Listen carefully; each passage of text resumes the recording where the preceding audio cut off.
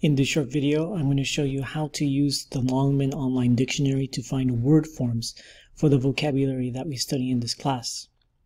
So to start, you should go to our ESL 19A homeroom, scroll down. Under Course Basics, you'll find Vocabulary Resources. Go ahead and click on Vocabulary Resources, and then find the Longman Dictionary of Contemporary English.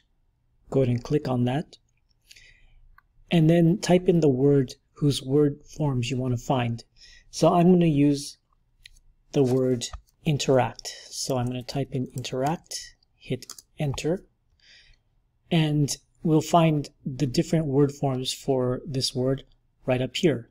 So we can see that um, interact, well, is a noun, but we can find the noun form is interaction and also interactivity.